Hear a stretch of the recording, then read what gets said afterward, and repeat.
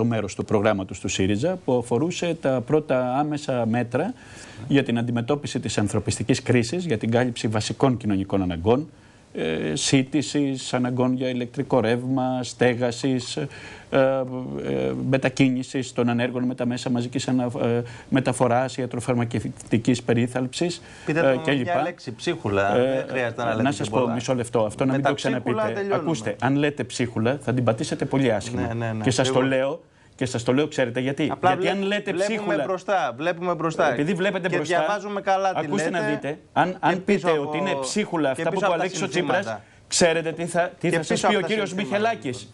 Ότι ήταν ψίχουλα η μείωση του κατώτερου, του κατώτερου μισθού από 751 σε 586 που λέει, ο, Τσι- που λέει ο ΣΥΡΙΖΑ ότι θα επαναφέρει.